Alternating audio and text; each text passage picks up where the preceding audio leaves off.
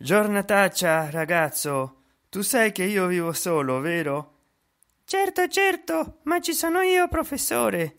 Appunto e anche male accompagnato. Non intendevo confidarmi. Volevo solo dire che purtroppo non c'è nessuno al mondo che mi dica cosa devo fare. Ma come professore? Un uomo libero come lei? Non tollero le offese. Veramente io cioè non mi pareva.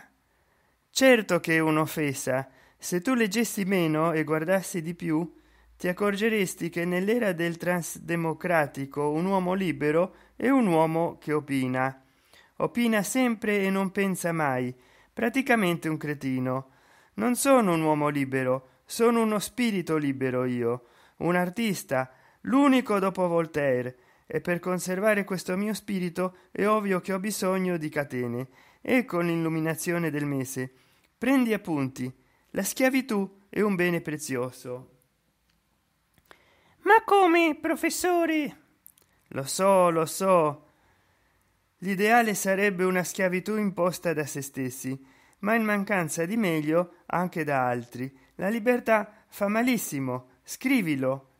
Mi dispiace professore ma questo non lo condivido. Dunque da uomo libero non lo scrivo tu più che libero sei deficiente ma questa non è una primizia si sapeva. Ora ascoltami attentamente. È solo la lotta per la libertà che fa bene. L'esercizio per la libertà fa schifo. Sai chi lo ha detto? Veramente no. L'ho detto io. Mi pareva il suo stile. Se non ti piace il mio stile diretto sarò più letterario bisogna liberare l'individuo dal sottile disagio della libertà. Oppure sarò più pratico. Ci sono e ci vogliono le libertà. La libertà non è mai esistita. Sai chi lo ha detto? Certo professore lo ha detto mussolini. Allora questo non va bene. Non la scrivere. Te la cambio subito. La libertà è una ridicola religione moderna. Scrivi questa che suona bella laica professore ma se è proprio grazie alle libertà che un artista come lei può esprimere tutto quello che vuole. Da tempo non mi aspetto da te obiezioni intelligenti. È proprio agli artisti che la libertà ha fatto male. I cassieri la scoprono meglio.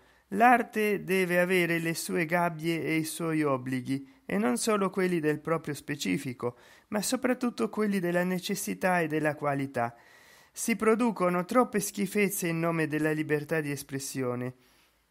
Ed ecco l'idea scrivila. Solo una rigidissima censura ci può salvare dallo spappolamento. Che fai impallidisci? Voi intellettuali avete sempre avuto una paura angosciosa del cremlino. Non sto parlando di quello. E ora che devi impallidire. Sto parlando di dio un dio che giudica la qualità e vi censura.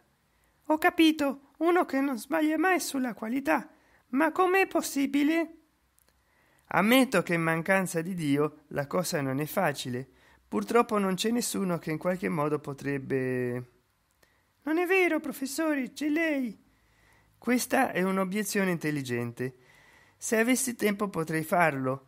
Guarderei un quadro leggerei le bozze poi andrei dall'artista e lei non deve scrivere glielo proibisco. E lui indignato ma come non scrivo più? Che libertà è questa? Io vado in america. E così ci liberiamo di qualche cretino. Professore ma non le è mai venuto in mente che il cretino potrebbe migliorare? Rarissimo. Comunque sei troppo occidentale.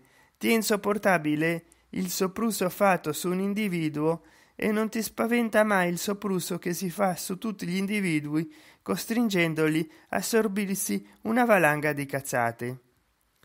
Ma uno può sempre sottrarsi. Era qui che ti aspettavo. Non ci si sottrae al grande squagliamento. Vedi tutte le schifezze che circolano penetrano e fanno male alla salute di chi in qualche modo è costretto a respirarle.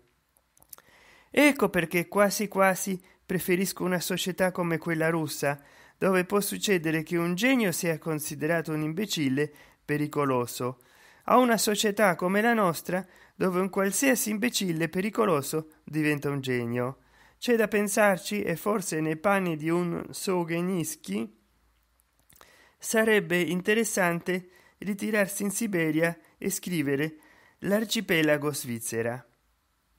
Illuminante, professore, credo di aver capito a fondo come una libertà del nostro tipo porti inevitabilmente alla distruzione dell'individuo. È l'ora di fare un gesto di coraggio e trasferirci tutti in luoghi dove si rischia una certa libertà. Sono pronto a seguirla.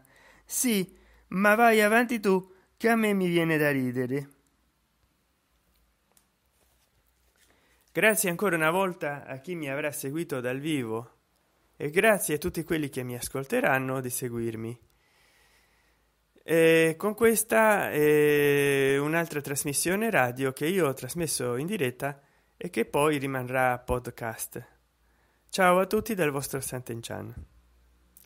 Un'altra mia breve riflessione.